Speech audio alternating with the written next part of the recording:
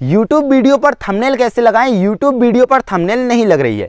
जी हाँ दोस्तों, जब आप वीडियो पर थंबनेल लगा रहे हो तो आपको कुछ इस टाइप की प्रॉब्लम आ जा रही है, लेकिन आपके वीडियो पर थंबनेल नहीं लग रही है। तो दोस्तों, कैसे आप इस प्रॉब्लम को सॉल्व करोगे और अपने वीडियो पर थंबनेल लगाओगे, मैं इस वीडियो पर आपको बताने वाला हूँ। और दोस्तों, आपको यह प्रॉब्लम इसलिए आ रही है क्योंकि आपने यूट्यूब चैनल बनाते समय सभी सेटिंग को नहीं किए हो और मेरा वीडियो देख करके आपने यूट्यूब चैनल नहीं बनाए हो। इसलिए आपको यह प्रॉब्लम हो रही है। लेकिन कोई भी दिक्कत की बात नहीं है क्योंकि मैं इस वीडियो पर आपको इस प्रॉब्लम को सॉल्व करना सिखा दूँगा।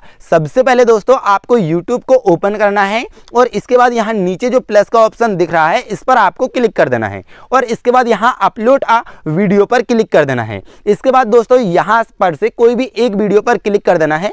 आपको वीडियो अपलोड नहीं करना है, लेकिन किसी भी एक वीडियो पर अभी क्लिक कर देना है। और इसके बाद फिर दोस्तों आपको यहाँ इमेज और प्लस के ऑप्शन पर क्लिक करना है। और इसके बाद फिर आपको यहाँ वेरीफाई पर क्लिक कर देना है। और इसके बाद यहाँ अपना मोबाइल नंबर को डाल देना है। और इसके बाद दोस्तों यहाँ गेट कोड पर क्लिक कर देना है। अब आपके मोबाइल नंबर पर एक कोड आएगा, उस कोड को ला करके यहाँ पर डाल देना है। इसके बाद दोस्तों, आपका मोबाइल नंबर आपके यूट्यूब चैनल से वेरीफाई हो जाएगा। इसके बाद फिर यहाँ से थोड़ा सा वैक आना है और इसके बाद फिर से दोस्तों, आपको यहाँ इमेज वाले ऑप्शन पर क्लिक कर देना है। तो आप दोस्तों, आप देख सकते हो कि यहाँ पर वेरीफाई का ऑप्शन नहीं आ रहा है, पहले जो ऑप्शन आ रहा था। अब यहाँ पर से आप आसानी से अपने वीडियो पर थंबनेल को लगा सकते हो।